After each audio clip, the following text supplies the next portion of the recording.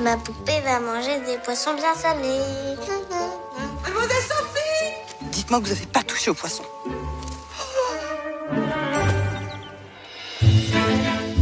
Notre Sophie est douée d'une grande imagination dès qu'il s'agit de faire des sottises. Il est bizarre, Sophie, il est froid. C'est pas du tout ça Qu'est-ce que je vais faire d'une petite fille pareille, hein? Oups Tu es puni pour trois jours dans ta chambre. Je ne veux plus te voir. Pauvre Sophie. Madame de Réan a disparu en mer pendant la catastrophe. Sophie a été confiée aux soins de sa belle-mère, Madame Fichini. Les beaux valets jettent le trouble dans une maison. Moi, je l'ai choisi piscornu et laid. Il faut bénir le ciel de la laideur des petites gens. Où est passé le carafon qui était dans la chambre? Maman Tu vas le dire? Tu vas le dire? Mais voyons, Madame Fichini Moi, j'ai la charge de Sophie et je l'éduque à mon idée.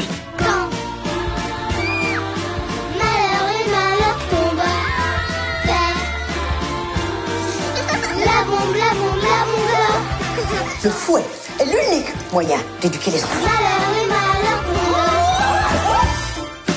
Dépêchez-vous, Sophie. Ne me faites pas